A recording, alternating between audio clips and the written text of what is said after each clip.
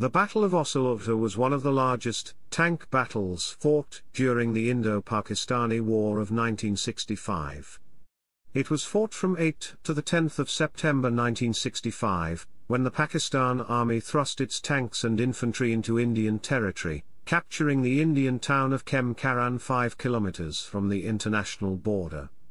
The Indian troops retaliated, and after three days of bitter fighting, the battle ended with the Pakistani forces being repulsed near Osil Factors that contributed to this were the fierce fight put up by the Indian army, conditions of the plains, better Indian tactics and a successful Indian strategy. This battle is compared with the Battle of Kursk in the Second World War for how it changed the course of the India-Pakistan War of 1965 in India's favour. War historians, including Dr. Philip Towle, regard the Indian resistance near Khem Karan as one of the key turning points of the war, one which tilted the balance of the war in favour of India. Peter Wilson states that the defeat of Pakistan army in the Battle of Asal Uttar was one of the greatest defeats suffered by Pakistan forces in the course of the Indo-Pakistan War of 1965.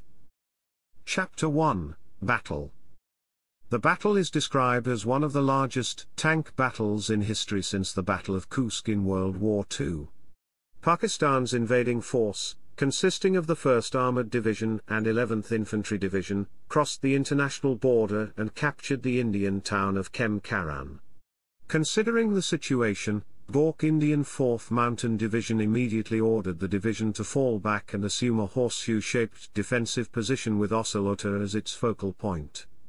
The battle strategy was the brainchild of Brigadier Thomas K. Theogaraj. In the night, the Indian troops flooded the sugarcane field, and the next morning, the Pakistani tanks of the 1st Armoured Division, consisting mainly of M47 and M48 Patton tanks, were lured inside the horseshoe trap. The swampy ground slowed the advance of the Pakistani tanks and many of them could not move because of the muddy slush.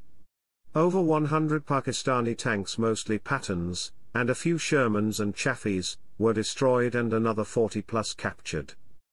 While the Indians, by their account, lost only 10 tanks during this counter-offensive.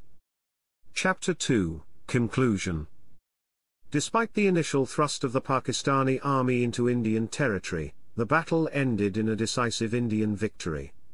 The commander of Pakistani forces Major General Nasir Ahmed Khan was killed in action.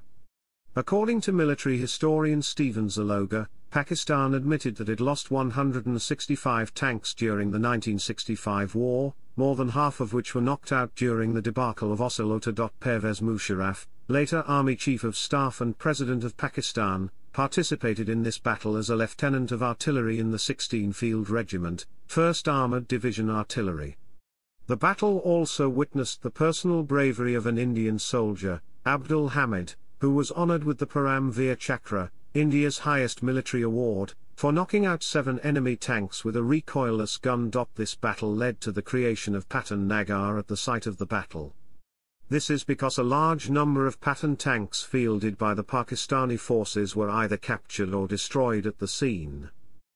Chapter 3 Battle Honor The Honor Asal Uttar was awarded for the period 9 to the 11th of September to the following units. Deccan Horse. 3 Cavalry. 91 Mountain Regiment.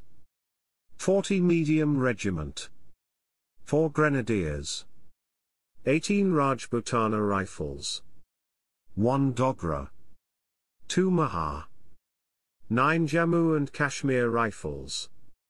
Chapter 4 Published Accounts. Chapter 4 Section 1 Documentaries Battle of Asal Uttar largest tank battle since World War II is a TV documentary which premiered on VIA by Discovery Channel series, Mission and Wars. Chapter 5, Gallery. Chapter 6, Resources. 1965 Official War History, Ministry of Defense, Government of India. The Battle of Asal Uttar, Pakistan and India 1965, orbat.com the 24th of February 2002, archived from the original on the 6th of November 2006, retrieved the 3rd of November 2006.